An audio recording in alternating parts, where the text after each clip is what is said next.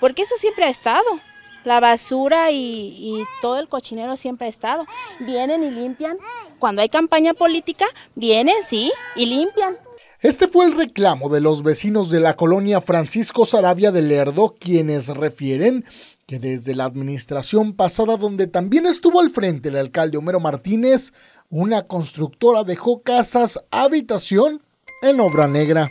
Hay muchos ratones, ratones, cucarachas, de todo, pues es que ahí está la basura.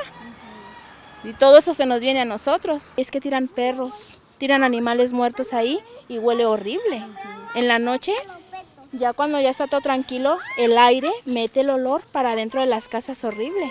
María Elena señaló que han realizado los reportes correspondientes, pero después de la campaña política, el alcalde reelecto ya no volvió por lo que ahora exigen su intervención.